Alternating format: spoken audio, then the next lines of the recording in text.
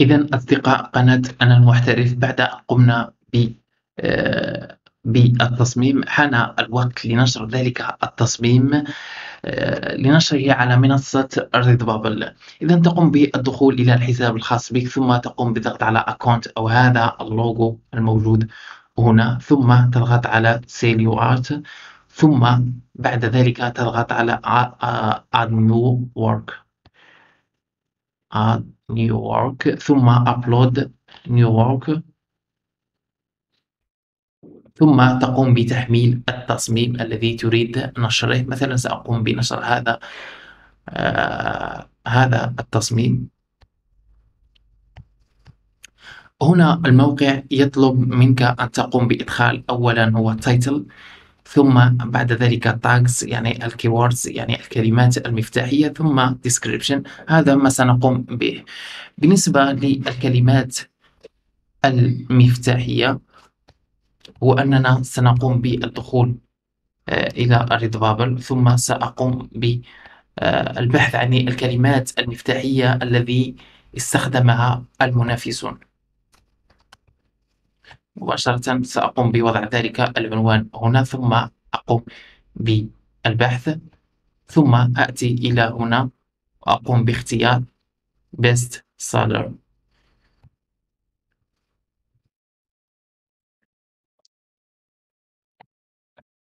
إذا سأقوم باختيار هذا أم هذا ثم أقوم بالدخول هذا بالنسبة للعنوان سأضيف نفس العنوان. هنا. سأضيف هذا العنوان هنا. يعني title. ثم بقي لي شيء آخر وهو tags الكيوردز سأذهب إلى المنافس ثم أقوم بالنزول إلى الأسفل. وستجد هنا مجموعة من ال keywords وهنا ال keywords الخاصة بال stickers آه ثم هنا الخاصة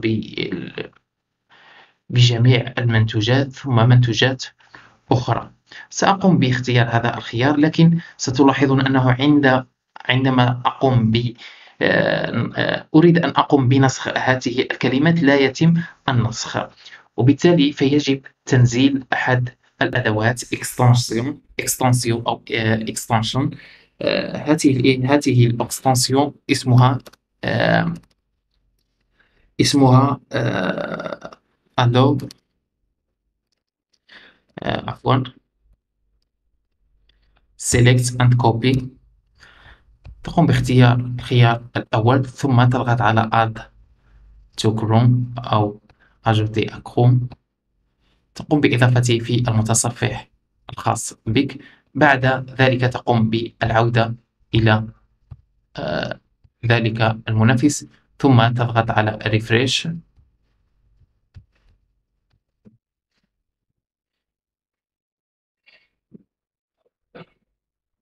ثم أقوم بالنسخ. كما تلاحظون الآن يتم النسخ. أضغط على copy الجانب الأيمن ثم copy أو control C مباشرة. بعد ذلك أقوم بالذهاب إلى هذا الموقع delim delim point أو dot co أو هذا الموقع لترتيب الكلمات المفتاحية.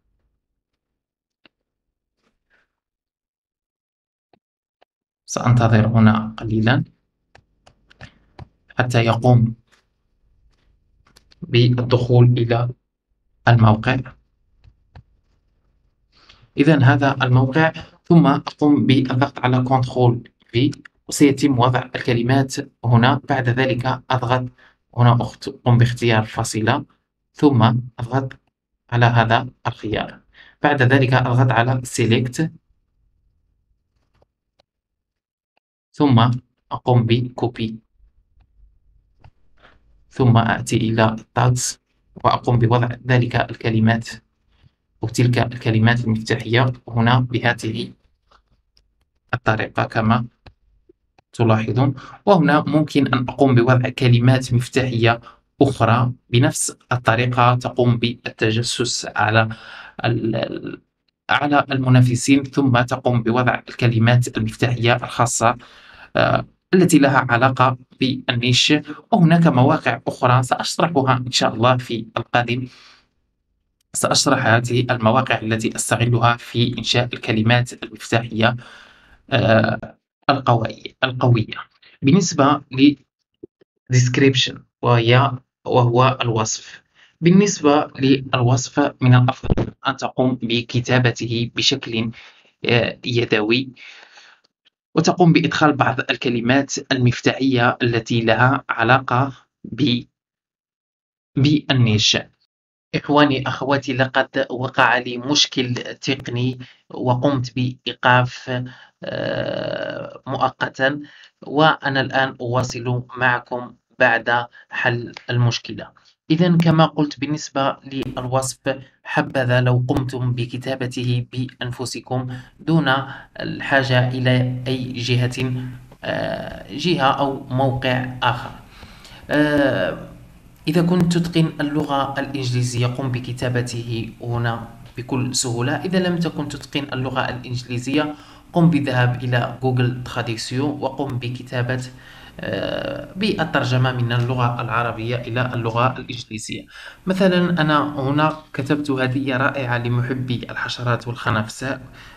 إذا هنا قمت بكتابة كلمتين مفتاحيتين. آه، ثم هدية للأصدقاء وأفراد العائلة وعشاق الحشرات هنا الكلمة المفتاحية الثالثة التي سأضيفها هنا. بعد ذلك أضغط على كوبي ثم أقوم بالعودة. وهنا أضيف تلك الوصف. بعد ذلك سأقوم بتغيير هذه الكلمة سأقوم بتغيير هذه الكلمة. سأكتب هنا بيتل وهو الخنفس بيتل ولكي لا يكون لدي تكرار في هذه العبارة سأقوم أو سأتركها. وممكن أن أضيف شيء آخر. آه، إذا أردت مثلا أن تبحث عن كلمات مفتاحية أخرى تقوم بالذهاب مباشرة إلى بيكساباي بيكساباي ثم تقوم بإدخال الكلمة. وكأنني أبحث عن شيء معين مثلا سأبحث عن الكلمة بيتل وهي الخنفساء يعني النيش الذي أشتغل فيه الآن. ثم مباشرة عندما أقوم بوضع الموس فوق الصورة تظهر لي الكلمات المفتاحية كما تلاحظون هذه مجموعة من الكلمات هذه كلمة مفتاحية هذه كلمة مفتاحية آه، كلمة مفتاحية أيضا آه، أيضا كلمة مفتاحية. إذا قم بإضافة الكلمات المفتاحية. هذه أيضا كلمة مفتاحية. لن تقوم بنسخ أي كلمة مفتاحية لها علاقة بالنيش وقم بإضافتها هنا في tags أو قم بإضافتها في جملة قم بجملة مفيدة في الوصف و يعني حاول الإدماج بين الكلمات المفتاحية والجملة بقي لنا شيء مهم وهو آه، وهو وضع المنتوج على وضع التصميم على الصورة. مثلا إذا قمت إذا قمت باختيار enabled إذا ظهرت معك هكذا. وإذا أردت أن تقوم بإخفاء هذا المنتوج لا تريد أن يظهر في ريدبابل مثلا هذا التصميم لا تريد أن يظهر على ريدبابل تضغط مرة واحدة وسيظهر disabled على هذا الشكل. أنا أريد هذا المنتوج يظهر على ريدبابل أقوم باختيار هذا الخيار ثم آتي إلى edit وأقوم ببعض التعديلات. مثلا هنا ممكن أن أقوم بتغيير هذا التصميم. آه، هنا أن أقوم بتغيير بتغيير لون التيشيرت. وهنا أقوم بتصغير للبرودكت أو للتصميم كما تلاحظون. وهنا أضيف في الوسط أضغط مرة واحدة مرة واحدة ثم أضغط على Apply.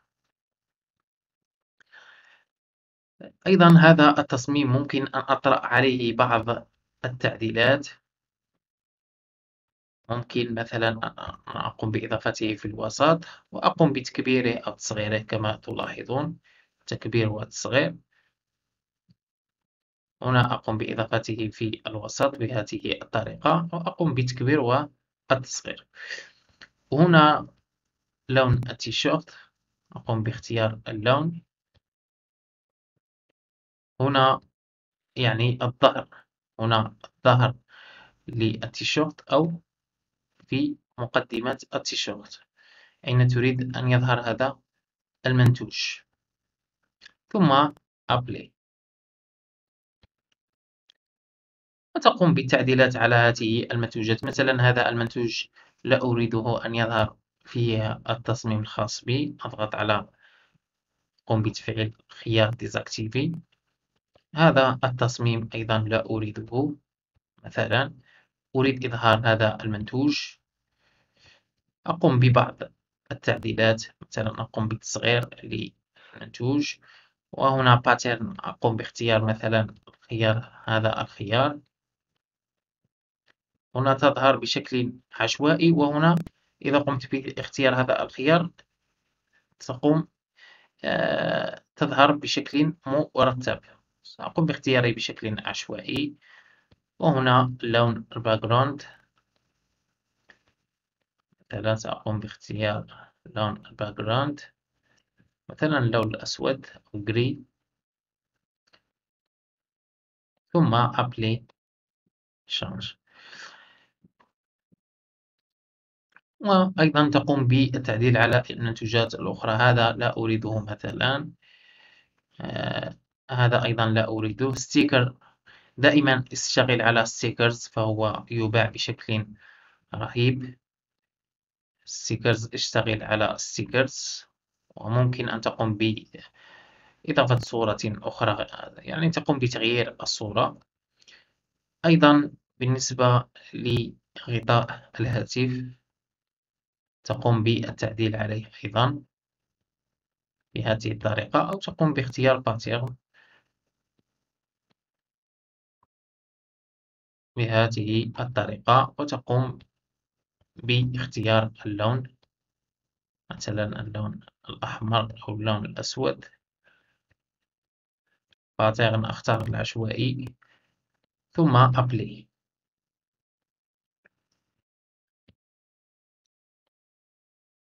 أيضا المنتوجات الأخرى مثلا هذا المنتوج لا أريده. آه هذا سأتركه هكذا أيضا هذا المنتوج سأتركه كما يبدو. لا أريد هذا المنتوج مثلا. آه هنا سأقوم بالتعديل على mats سأختار هنا pattern مثلا وعشوائي وأقوم بالتصغير. بهذه الطريقة مثلا ثم apply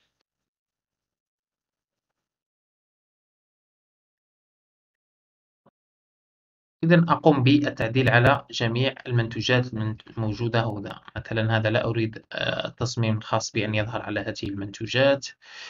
آه، هذا المنتوج أيضا.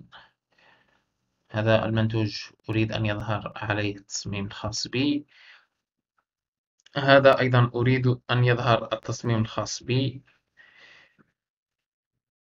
سأقوم بتصغيره وإضافته في الوسط ثم أقوم بأبلي بهذه الطريقة. هذا التصميم لا أريده مثلا تقوم باختيار disabled أو désactivé هذا أيضا لا أريد. أن تقوم باختيار التصاميم. مثلا هذا أيضا لا أريد. كذلك.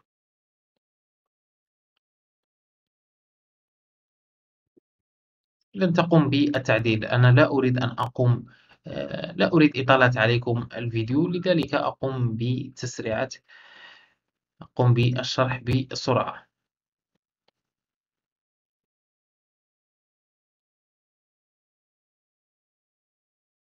وهنا مثلا سأقوم باختيار باترن وأقوم باختيار هذا الخيار ثم أقوم بالتصغير. ثم Apply سيظهر المنتوج كما تلاحظون. بعد ذلك هنا أقوم باختيار ميديا أختار خيارين مثلا سأختار Illustration Design Illustration وهنا أختار Digital Art أو Drawing أو آه، أو آه، أو بينتين إلى غير ذلك. هنا من الأفضل أن أقوم باختيار الخيار الأخير لكي الموقع ريدبابل هو الذي يقوم باختيار المنتوج الذي سيظهر عليه آه الذي سيظهر في الذي سيظهر في البحث. هنا أقوم باختيار هذا الخيار كي يظهر للجميع ثم هنا أقوم باختيار yes وهنا I have يعني توافق على جميع الشروط أو لديك الحقوق اللازمة لهذا لهذا التصميم. ثم save work. إذن بهذه الطريقة قد تكون قد أضفت المنتوج الأول الخاص بك كما تلاحظون وشاهد معي كيف يبدو المنتوج أو التصميم الخاص بك عبر. عبر جميع المنتوجات التي قمت باختيارها ابقى معي حتى ترى ذلك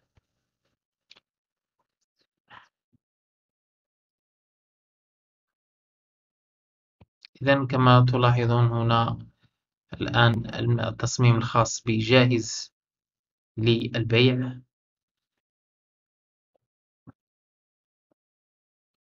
سأنتظر حتى تظهر جميع التصميمات. ربما لدي مشكل في الاتصال بالإنترنت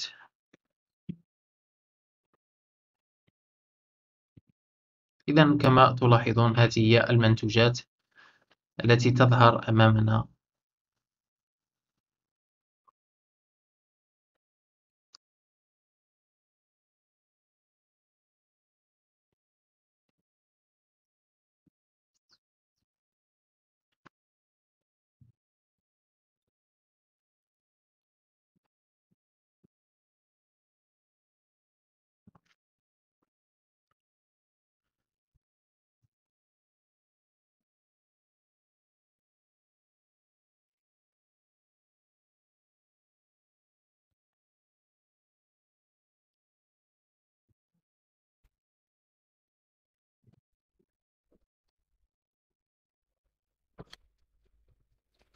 إذا كما تلاحظون الآن آه، التصميم الخاص بي جاهز للبيع وعند النزول للأسفل ستجد هنا الكلمات المفتاحية وهنا الوصف وهنا عنوان. آه، ثم ستجد التصميمات أو المنتوجات التي يظهر عليها التصميم الخاص بي شاهد كيف يبدو. وهنا إذا ضغطت هنا ممكن أن تقوم بتحميل الصورة أو view product. مثلا سأقوم ب view لأي product مثلا. مثلا سأقوم ب view لهذا البرودكت view product.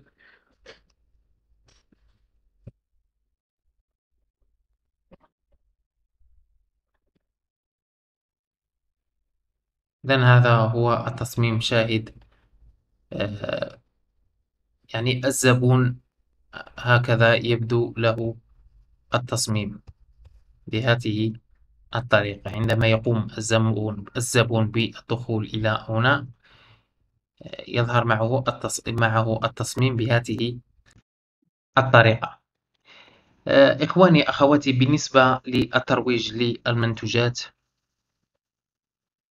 بالنسبة للترويج للمنتوج قم باختيار أي تصميم من هنا. مثلا آه، مثلا تريد ترويج هذا التصميم فقط تأتي إلى هنا ووضع copy copy link ثم تقوم بالترويج إما عبر فيسبوك مثلا أو بنترست وممكن أن تقوم بالترويج للصفحة أو ال account أو الحساب الخاص بك. آه، فقط تضغط مرة تقوم بالدخول للحساب ثم تقوم بنسخ هذا الرابط وتقوم بوضعه إما في فيسبوك أو في بنترست للترويج الحساب الخاص بك.